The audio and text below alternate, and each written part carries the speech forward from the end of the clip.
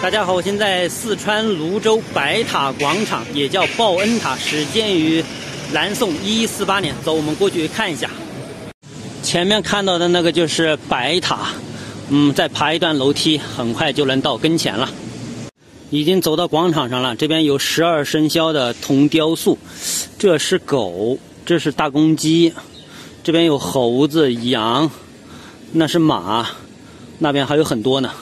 已经走到这个广场上面来了，这个上面好像好像有很多的这个雨棚是吃饭的地方，然后白塔就在跟前，关键是这个位置实在是被阻挡住了呀。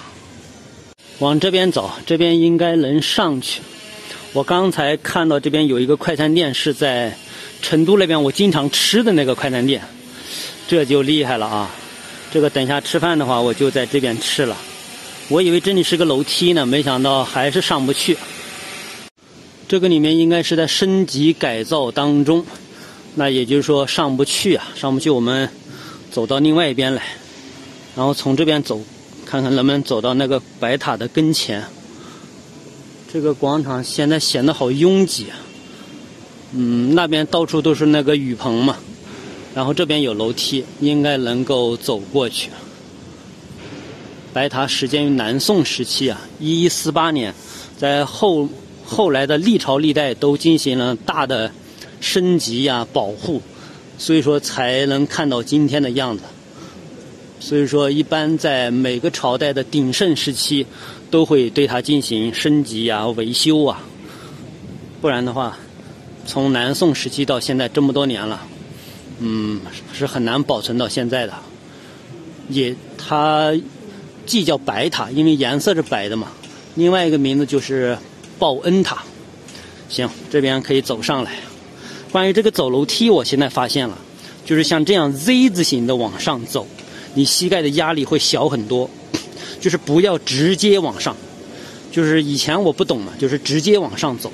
后来我就发现了，这个走楼梯的时候呢，以这种 Z 字形来来回回的往上走，它同样是在爬楼梯，但是膝盖上的压力。会好很多，这一点也是我终于发现了啊！现在已经走到跟前了，嗯，下面好像是汉白玉的底座，看起来还是非常好的，嗯，颜色也比较清爽，所以叫白塔。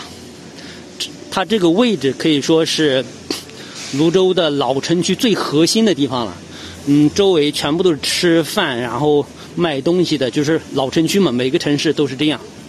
从侧面来欣赏一下，这白塔周围的饭店多到什么程度？多到我现在走路这个地面上都感觉滑，真的，我刚才走前面那段路特别明显。走吧，那这个太近了，我们看不全，我们还是往它的这个方向走。这个前面算是一块广场了，走到这边来，这一块地方看起来还是比较繁华的，因为是最市中心嘛。再从这个远距离来看一下，这个报恩塔那边有个石碑，上面写的是全国重点文物保护单位。走，我们再换个地方，走到马路边再去看一下。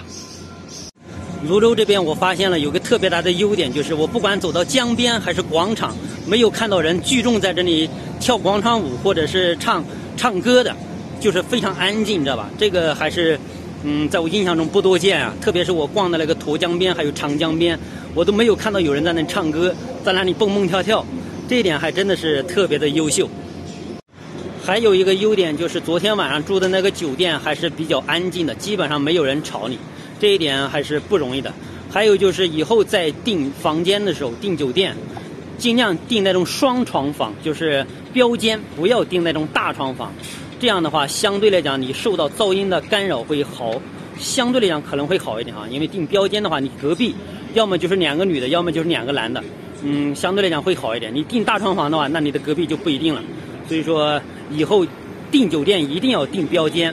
如果是民宿的话，就无所谓了。民宿它的那个墙都比较厚实，比较的坚固，所以说订酒店一定要订标间，这个要切记啊，要给自己长个记性。